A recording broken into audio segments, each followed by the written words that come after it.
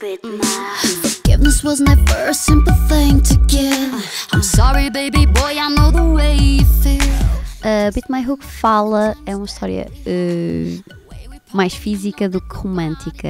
Por norma, numa relação, toda a gente fala sobre o que é que acontece a nível de romantismo, que quebrou corações, blá blá blá, isso não é para mim.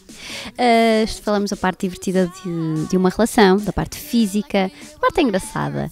É uma história provocadora porque eu acho sempre que envolve o físico, envolve provocação. Uh, e acho que o Jimmy Peak é o meu parceiro nessa música, que enquadrou perfeitamente a letra dele na música. O tease continua lá uh, e acho que embelezou bastante uh, aqui, o, transmitiu a mensagem que realmente estávamos à espera que, que transmitisse. foi engraçado, muito engraçado gravar o videoclipe, porque foram dois dias de gravação. Uh, houveram partes mais difíceis do que outras, mas isso depois vocês vêm ao longo do vídeo e vão perceber o que é que eu estou a falar.